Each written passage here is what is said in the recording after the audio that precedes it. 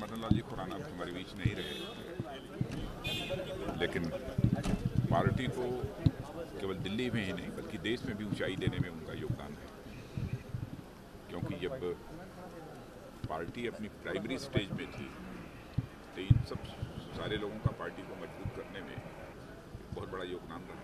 तो दिल्ली का जहाँ तक प्रश्न है, भले ही वो प्रतिपक्ष के नेता ही क्यों न रहे पार्टी भले ही सत्ता में न रही हो लेकिन दिल्ली की जनता का एक भरोसा और विश्वास मदन लाल जी खुराना के प्रति रहा है।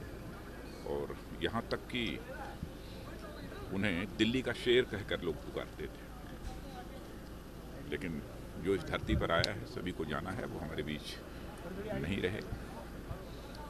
मैं अपनी श्रद्धांजलि अर्पित करता हूँ। मदन लाल खुराना जी का जो आकस्मिक निधन हुआ है, इस पे सब लोग शोकाकुल हैं।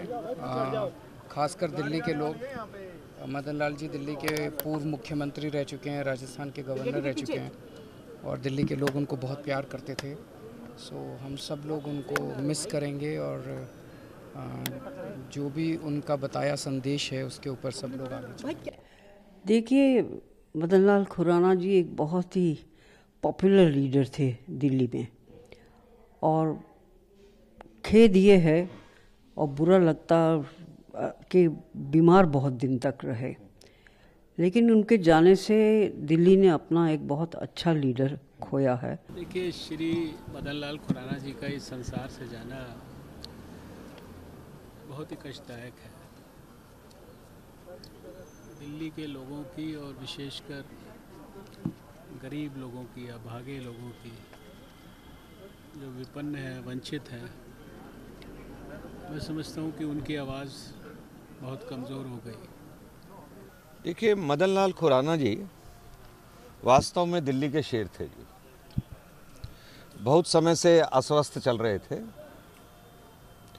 मेरा और उनका संबंध पिछले 40 सालों से रहा।